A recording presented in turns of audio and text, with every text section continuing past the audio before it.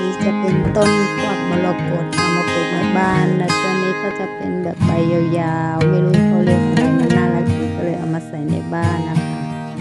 สวยดีน่ารักดีอันนี้จะเป็นแบบว่าชั้นวางแล้วก็เอามาใส่เอาต้นไม้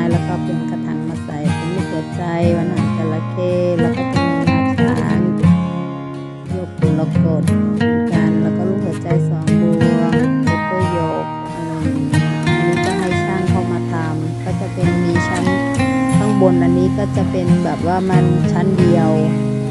มันยังเล็กอยู่ที่วางเล็กอยู่อันนี้ก็จะให้ช่างมา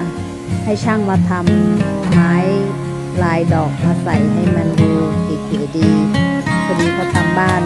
แล้วก็แบบว่าเออมันเหลือก็เลยเอมาทำมาทำใส่กัน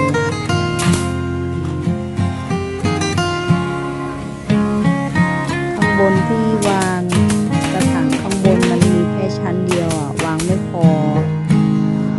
นี้มันจะใหญ่แล้วให้ช่างเขามาทำใหม่แต่ลืมถ่ายรูปไว้ อันนี้ให้ช่างเขามาทำใหม่เสร็จปุ๊บแล้วก็วางต้นไม้ได้เยอะอะไรอย่างเงี้ยเต็มไปหมดเลยเพราะว่าแบบซื้อซื้อซื้อซื้อมาแล้วพอในที่มันวางไม่พอก็เลยต้องให้ช่างเขามาทำเพิ่ม อันนี้จะเป็นพวกเอ่อตระกูลเฟิร์นอะไรอย่างเงี้ยมอนเซล่า ก็จะกระถางก็จะปลูกใหม่เองหมดเลยอันนี้ก็จะออกมาปลูกเหมือนกันก็เนี่ยก็จะเป็นลายไปอย่างนี้แล้วค่ะก็เลี้ยงต้นไปไปเรื่อยๆก็เก๋ๆดี